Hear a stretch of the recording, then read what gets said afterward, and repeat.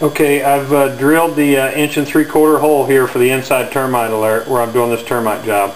I have my anchor right here and what I like to do here is on the bottom anchor I like to cut it in half, put it in, and then the screw that goes in the bottom anchor I like to cut it in half and that way it doesn't interfere with the green eye uh, tube and uh, push it off. You can uh, you can actually take this product, you can install it straight down in the wall and the cellulose uh, touches the bottom here or, or you can, in a certain situation where you have to, you can angle it off like that and then you can install it through there.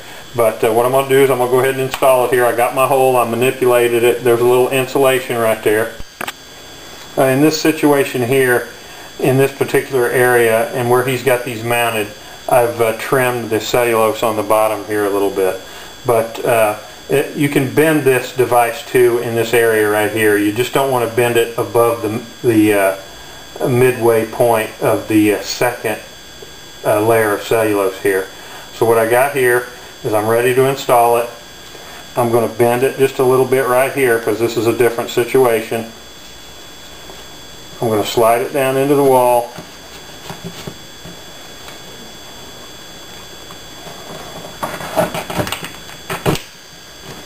Boom.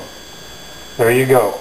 All I got to do is screw this in and he's got an inside the home termite alert.